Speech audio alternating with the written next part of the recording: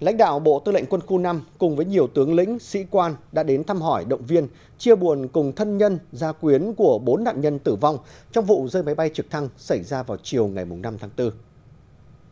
Tại gia đình các nạn nhân, thay mặt Bộ Tư lệnh Quân khu, Trung tướng Thái Đại Ngọc đã thăm hỏi, chia sẻ với những mất mát đau thương của các gia đình, đồng thời động viên người thân sớm vượt qua nỗi đau, ổn định cuộc sống.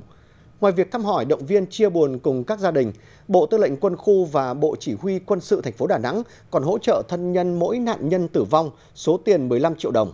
Đồng thời đề nghị cấp ủy chính quyền, lực lượng vũ trang các địa phương quan tâm hỗ trợ, động viên, phối hợp cùng thân nhân, gia đình tổ chức chú đáo tang lễ cho các nạn nhân.